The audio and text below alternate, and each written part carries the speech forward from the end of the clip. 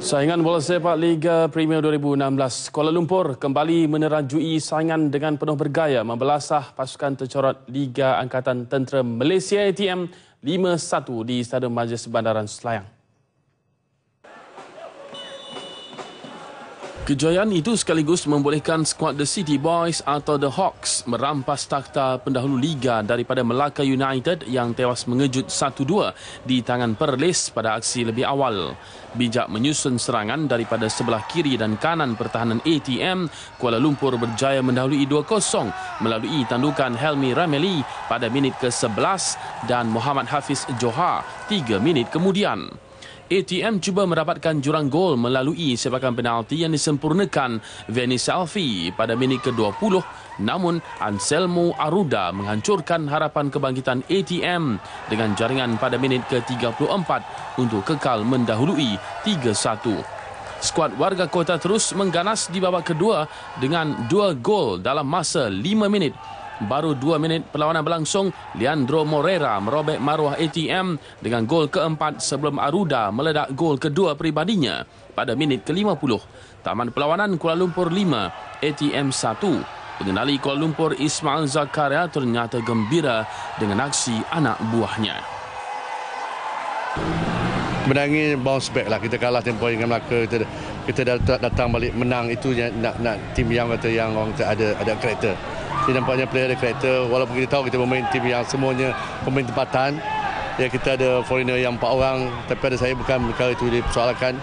Pada saya kemenangan bukan mudah untuk mengerti pada saya nothing tulus.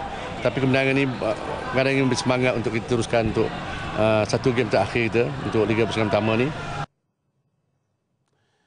Sebelum itu, di sebelah petang, Perlis mencatat kejutan menang 2-1 ke atas Melaka United. Dalam perlawanan di Stadium Tuanku Said Putra Kanga itu, cuaca panas sedikit mengganggu rentak permainan kedua-dua pasukan. Melaka United terlebih dahulu menjaringkan gol pada minit pertama menerusi R. Surendran untuk mendahului 1-0. Kedudukan 1-0 ini kekal hingga tamat babak pertama. Beraksi di babak kedua, Singa Utara bangkit menyamakan kedudukan pada minit ke-88 menerusi sebagai penalti yang disempurnakan oleh Kenny Vincent.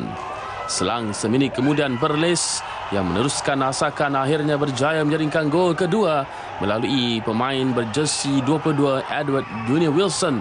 Taman perlawanan Perlis menang 2-1 menewaskan Melaka United.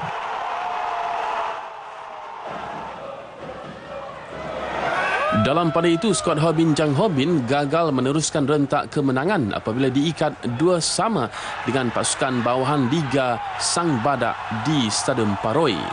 Keputusan ini sedikit mengecewakan peminat dan pengurusan apabila terlepas peluang untuk mengekalkan kedudukan di puncak Liga. Keputusan ini juga menyaksikan Negeri Sembilan turun ke tangga ketiga Liga dengan 19 mata.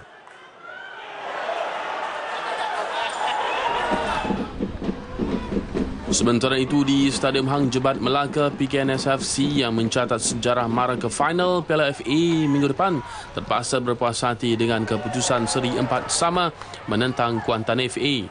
Kedua-dua pasukan sama hebat bermain seimbang untuk terikat dua sama sehingga tamat separuh masa pertama. Memasuki babak kedua, tambahan empat jaringan dilakukan masing-masing dua gol bagi setiap pasukan. Akhirnya, tamat perlawanan, PKNS FC dan Kuantan FA membawa pulang satu mata selepas seri empat sama.